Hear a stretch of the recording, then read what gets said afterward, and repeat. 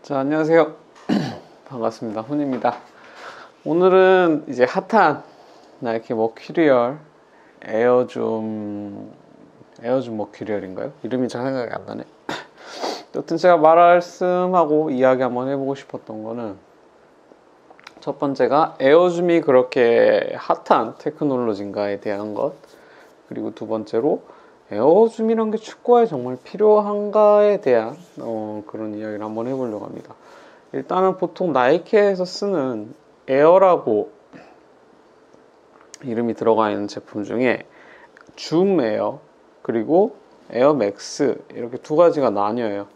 크게 두 가지가 나뉘는 기준으로 보자면 이제 에어 맥스 에어 제품이라고 보통 말하는 우리가 공기층이 들어가 있는 이 중간에 cushioning이 있는 제품들은 어, 공기층을 그냥 튜브에 만들어 잡아놓는 형태입니다. 그래서 그렇게 나오는 제품들 시리즈가 에어맥스 1, 그리고 에어맥스 90, 그리고 에어맥스 시리즈들이 뭐 93, 95, 98 이런 식으로 계속 나왔죠. 이제 그 다음에 또 다른 제품 나오는 게 이제 제가 이제 들고 있는 나이키 Zoom Air입니다. Zoom Air 같은 경우는 여기에 지금 보이시는지 모르겠는데 안에 실들이 이렇게 가느다랗게 여러 개가 있어요. 그래서 이거 같은 경우는 초점의 자체가 맞춰져 있는 게 강한 반발성 그리고 강한 운동성을 이 세팅을 해서 그 운동하는데 그걸 이용하겠다는 컨셉입니다. 그래서 이 제품을 제가 나이키에서 이제 신입 직원들 교육할 때 그 교육 자료에도 나오는 게 보면 Air Zoom에 대해서 설명할 때는 이 제품을 개발할 때 어, 영감을 받고 그 제품을 개발했던 컨셉 자체가 쇼파의 스프링 있죠? 그런 부분에 대해서 이제 말 그대로 스프링에 대한 반발력 그 부분을 통해 가지고 제품을 만들게 됐다는 게 그거고 여기에 안에도 보시면 이제 제품의 실들이 이렇게 있어 가지고 이렇게 펴진 상태에서 이렇게 압축에 딱핑 하고 바로 펴질 수 있게 반발력을 기본적으로 가지고 있는 게 중요합니다. 그래서 이렇게 Zoom Air가 제품에 쓰이게 되면 보통은 Zoom Air 자체로만 쓰이질 못해요. 이유가 뭐냐면 Zoom Air를 제가 앞에서 말씀드렸지만 강한 반발성을 컨셉으로 삼고 있고 강한 운동성을 어, 유지하기 위한 어, 그 기능과 컨셉이기 때문에 실질적으로 줌 에어만 쓰면 몸에 오는 부담이 커져요. 그렇기 때문에 제가 지금 신고 가지고 있고 되게 디자인적으로는 좋아하는데 착화감은 제가 신고 있는 신발들 중에서도 가장 좋지가 않습니다.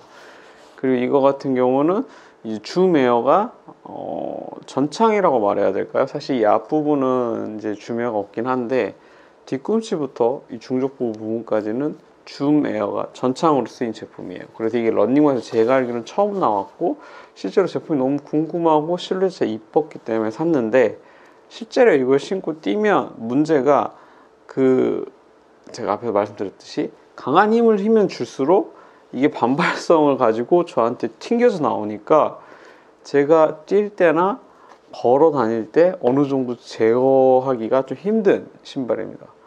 그래서 저는 이번에 나이키에서 이 주메어를 썼을 때 얘네가 무슨 정신으로 이런 제품을 주메어를 축구에 넣은 걸까라는 그런 생각을 했어요.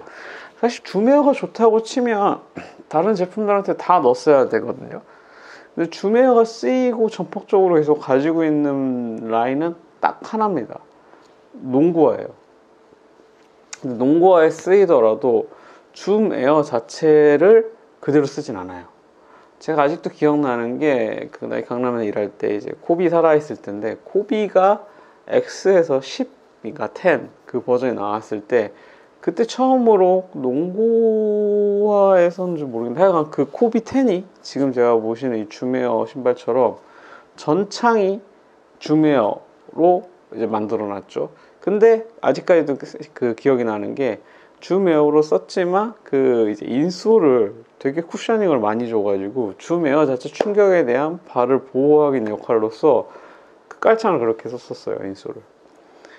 그러니까 느끼는 게 줌에어 자체는 컨셉 자체가 강한 반발력과 운동성을 통해서 사용하는 사용자에게 도움이 되고자 하는데 제가 이 말씀을 드리고 지금 생각을 해보면 해볼수록 가장 큰 문제는 강한 운동성을 주게 되면 반대로 사용자가 감안해야 되는 그 이제 충격, 반발력부터 오는 그 데미지를 사용자가 이제 컨트롤하거나 그걸 감당을 해내야 되는 거죠.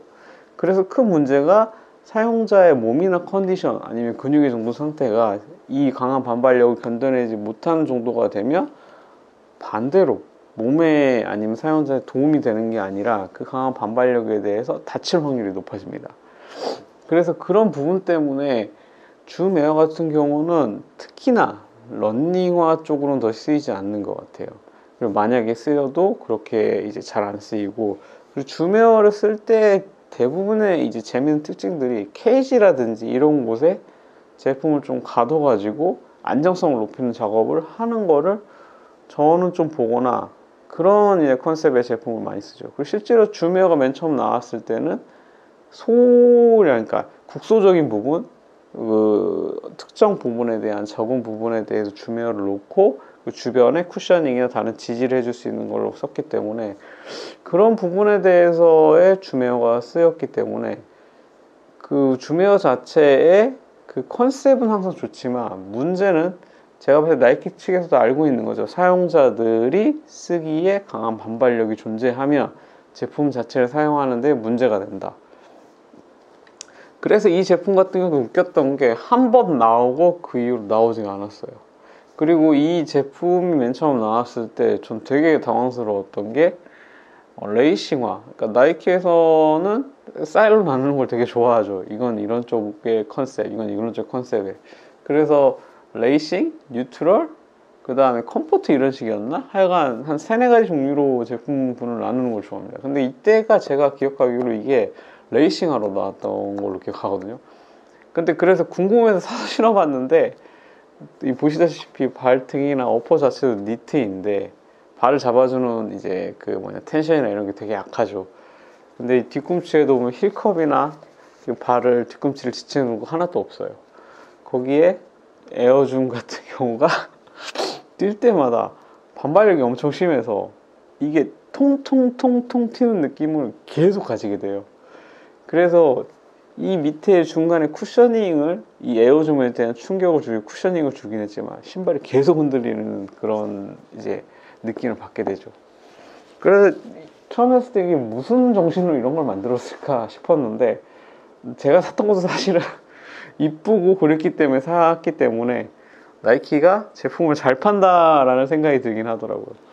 그래 뭐 다시 이제 되돌아오면 그렇다면 어 이제 축구화에 대해서 에어줌을 이렇게 넣었죠. 머큐리얼 이제 시리즈에 베이퍼 시리즈에. 근데 저는 그런 생각이 들어요. 사실 그 이제 강한 반발력과 그 에너지성을 가지려면 제가 지금 보여드리는 이 신발처럼 적어도 에어줌에 대한 어, 두께나 형태가 어느 정도 굵었고 어, 뭐라고 해야 되나 좀 에너지를 반발력 받을 수 있게 이 정도로 해야 되는데 축구화에 들어간 걸 신어보진 못했지만 과연 에어줌의 형태가 그렇게 안에 들어가서 그것도 이렇게 통으로 되어 있는 게 아니라 안에 보니까 분절되어 있는 형태더라고요. 이제 부분적으로 케이지나 아니면은 그 이제 에어줌이 들어간 형태를 나눠가지고 그렇게 돼 있는데 그거는 제 생각엔 그거 같거든요. 이렇게 통으로 해놓으면 전체적으로 이제 뭐 뭐냐 면적이나 그 압력을 받아서 팽창되는 부분들이 전체적으로 퍼져나가니까 제어하기 더 힘드니까 이제 부분적으로 힘이 들어가서 그 부분에만 이제 그 반발력이 생겨서 발 전체에 반발성이 그리고 데미지들이 가지 않게 그러니까 좀 더 제어를 잘할 수 있게 이렇게 만들어 놨다는 생각이 들더라고요. 근데 문제는 제가 보기에는 그 에어줌 축구화에 뭐 글에 들어간 자체가 에어줌이 그 에어줌의 컨셉인 반발력이나 그 에너지성을 유지하기엔 너무 적고 작다는 거예요. 그러니까 이게 의미가 있을까라는 그런 첫 번째가 그 생각이 들었고 두 번째로 일단은 에어줌이라고 하면 물컹물컹 거리는 게 존재하긴 할 거예요. 그래서 축구화는 사실상 천연잔디를 기준으로 하자면 천연잔디는 무르죠.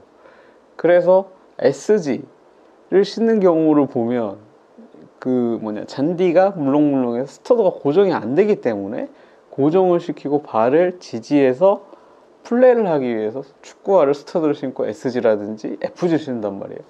근데 천연잔디 기준으로 FG에다가 그 에어줌이라는 걸 넣어 놓으면 그러니까 기능성을 제외하고도 착화감 자체에서 물렁물렁거리는 약간 느낌들이 계속 그 유지될 텐데 그게 과연 플레이 할 때 얼마만큼 유용하고 얼마만큼 플레이어한테 착화감을 좋은 쪽으로 해줄 수 있을지에 대한 그런 고려가 하나도 안 돼 있다고 저는 생각해요.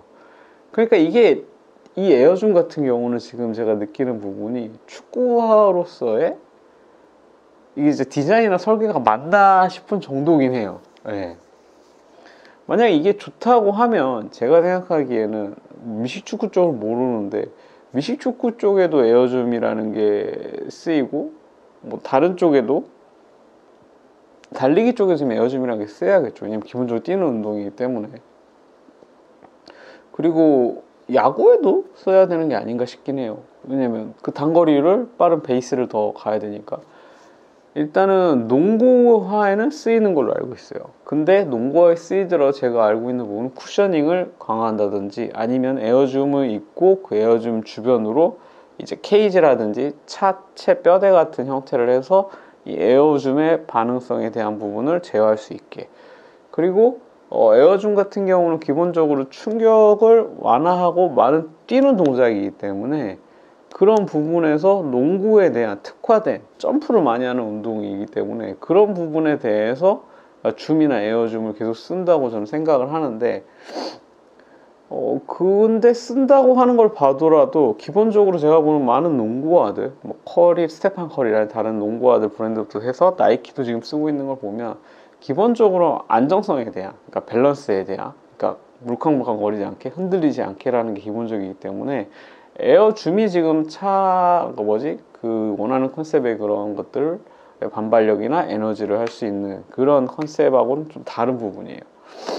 그래서 그런 부분들을 보자면, 그러니까 그런 말랑말랑한 느낌 주는 것 자체에 컨셉의 축구를 만들었다는 것 자체가 저는 좀 이해가 안 가고, 그 나이키가 과연, 그러니까 에어줌이라는 이 축구화도 사실은 지금 나온 게 아니라 예전에 썼던 걸 다시 그 뭐냐, 되살려 낸 거죠 좀비처럼 뭐 제가 나루토 그 만화를 좋아했었는데 거기 예토 전생이라고 죽은 자들을 살려내서 뭐 그렇게 이제 그 만화에 등장시키는 게 있는데 그런 것처럼 죽어가던 기술을 이렇게 그러니까 사장태에서 거의 쓰지 않는 그러니까 다른 카테고리에서 그런 제품을 꺼내와서 또 이렇게 적용을 해서 축구화를 판매하죠. 근데 어, 그러니까 최근에 느껴왔던 것 중에 느끼는 거는 나이키가 저는 장사를 잘한다고 생각을 해요. 그러니까 이게 장사를 잘하고 물건을 잘 판다는 게 우리가 생각하는 거와 다르게 이 제품이 뭐 어떤 기능이 완전히 필요하고 그런 것들에 대한 게 어, 적합한가에 대한 그런 고려는 아닌 것 같아요. 어, 그러니까 이게 운동이라든지 그러니까 의류 같은 부분에 대해서는 더 그렇다고 느껴지는 부분들이 많은데 오히려 기계나 애플이나 뭐 삼성의 휴대폰이나 TV나 전자기기 수치적으로 그거에 대한 것들 정확하게 명확하게 나타난 것들은 좋고 나쁨이 분명하게 이렇게 티가 나죠. 근데 나이키에서 이렇게 에어줌을 만들고 이런 제품 같은 경우에서는 오히려 디자인이나 그 제품이 상대방, 그러니까 소비자한테 얼마나 신선하게 다가오느냐가 어떻게 보면 좀 구매에 대한 욕구들을 더 불러일으키고 그런 것들에 대한 브랜드 인지도에서 새로움에 대한 것들이 어느 그 이제 구매를 하고 판매하는데 가장 중요한 이제 바로미터 척도가 되는 것 같아서 그런 부분에서 저는 지금 나이키가 장사를 굉장히 잘한다고 생각해요. 오히려 저희가 축구와 리뷰를 하고 있고 다른 신발의 의류들을 하고 있으면서 개인차라는 게 분명 존재하긴 하죠. 근데 이 제품의 컨셉이나 이런 기능들이 과연 이 파트에 쓰였을 때 적합한가에 대한 고려에 대해서는 글쎄요. 그건 잘 모르겠어요. 오히려 그런 부분에 느끼고 그런 부분을 검증하는 데 있어서 이 신발, 의류 이런 카테고리에서 느끼시는 많은 분들이 그런 부분에 신경을 안 쓰는 게 아닌가라는 생각을 최근에도 들고 그렇게 하고 있습니다. 그래서 뭐 앞에서 이야기했듯이 제가 느끼는 이 에어줌이라는 그 테크놀로지가 축구화에 적합한가에 대해서는 일단은 적합하지 않다고 생각을 하고요. 두 번째로 이 축구화에 쓴 에어줌의 컨셉이 그러니까 나이키에서 말하는 그 운동성이나 에어줌 본연의 컨셉 자체가 축구화에서 사용자한테 그만큼의 반발력이라든지 에너지를 운동할 수 있는 운동에 도움이 되는 사용자에 도움이 되는 그런 에너지 줄수 있느냐고 하면 제가 보기엔 축구화에 들어간 그 정도 양으로는 어림도 없거든요. 그리고 가장 말도 안 되는 게 그 반발성이 계속 존재를 하면 사용자는 그 반발성을 제어하기 위해서 무수하게 힘을 써야 돼요. 왜냐면 흔들리니까 균형을 위해서 힘을 더 써야 되고 나한테 에너지로 그 오기 때문에 내가 그걸 지탱해야 되기 때문에 그래서 이게 웃긴 게 그 고반발성이라든지 거대한 힘을 써야 되는 그런 것들에 대해서는 오히려 사용자의 컨디션이나 몸의 그 레벨이 그런 에너지를 감당할 수 있고 쓸 수 있을 정도로 훨씬 좋아야 돼요. 그러니까 프로 선수처럼이거나 아니면 몸이 컨디션 이 아주 좋은 상태거나 그렇게 보면은 보편적인 축구화로서의 기능을 사용하기에는 오히려 제약이 있는 거죠.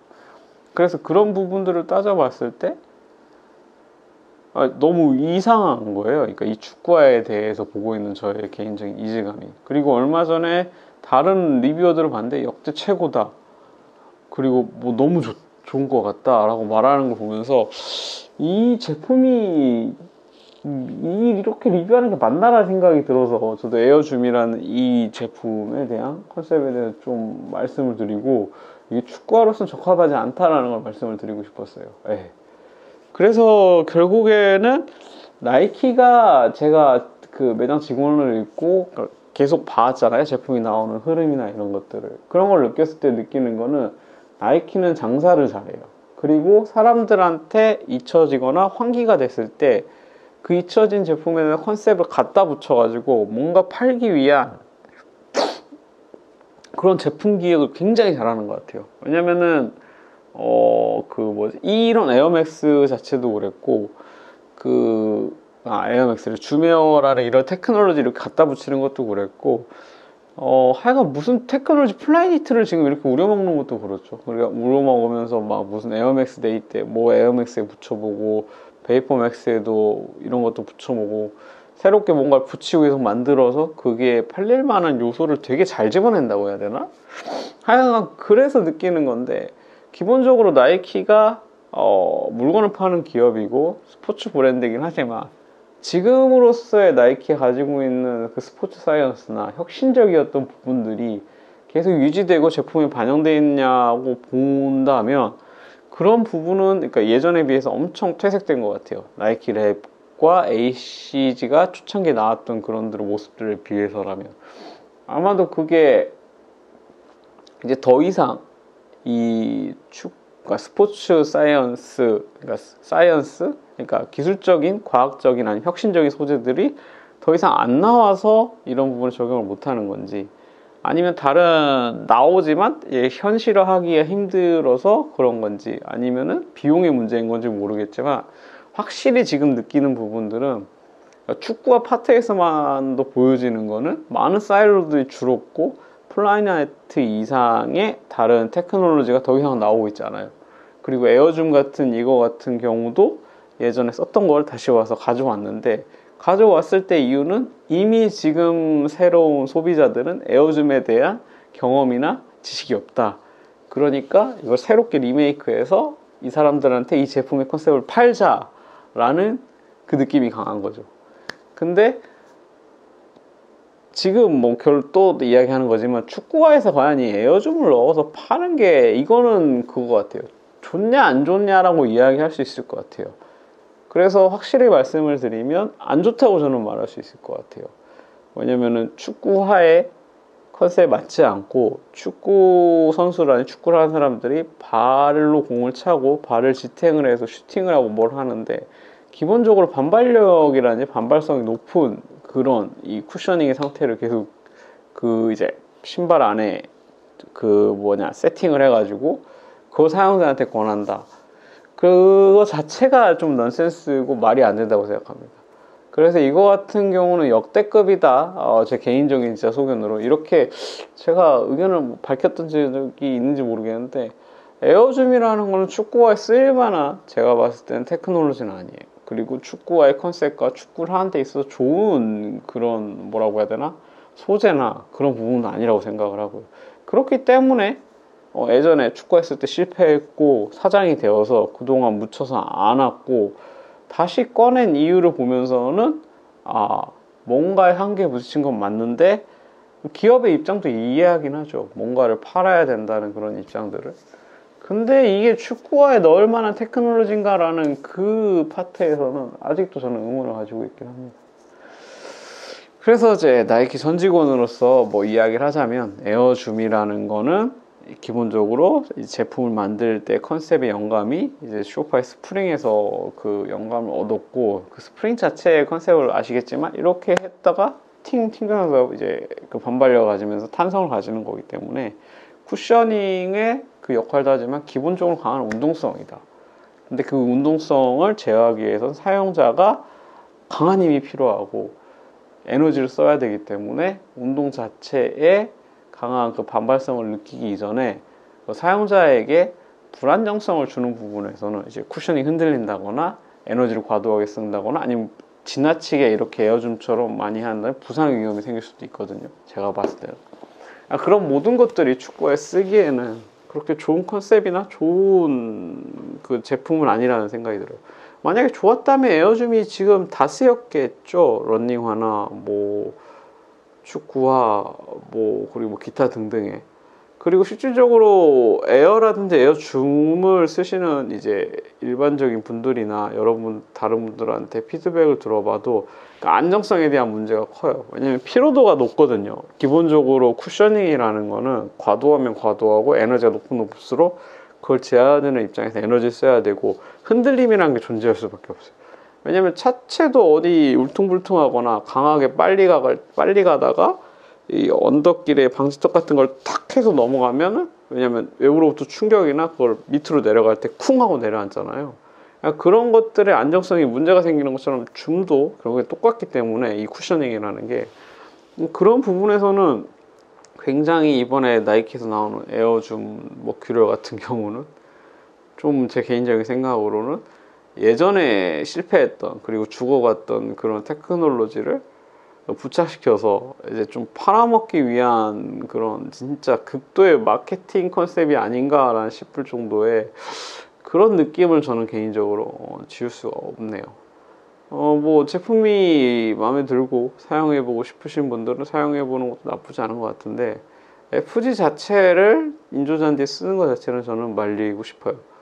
그리고 뭐 다른 리뷰에서 막 잔디 인조잔디 안 씹힌다고 그런 것 같은데 제가 봤을 때는 그 스터드 트라, 트리스타 그러니까 그 스터드 자체도 잔디의 고정력을 강하게 주기 위한 그 디자인 같은데 왜냐면 엄지발가락 이런 특정 발가락 부분에 힘이 들어가는 부분에 어, 잔디를 좀 더 움켜쥘 수 있게 치고 나갈 때 그런 디자인이 된 느낌이거든요. 그래서 천연잔디에서 FD 자체를 사용하시지 않는 걸 좀 추천드리고 그 그러니까 이조잔디에서 에이즈로 나왔을 때 만약에 에어파 뭐냐 줌에어가 있는 것 자체가 도움이 글쎄요 저는 될 수 있을 거 거의 보지 않거든요. 착화감이 물렁물렁한 건 있는데 이게 내가 생각하는 것보다의 그 외부 충격에 대해서 엄청난 도움이 될까? 그걸 잘 모르겠어요. 그 부분에 대해 없는 것보다 낫겠지라 생각은 있는데 그 에어줌이라는 그 특성이나 제품이 가진 컨셉의 만큼의 기능이 될까라는 그런 생각을 아직도 가지고 있습니다.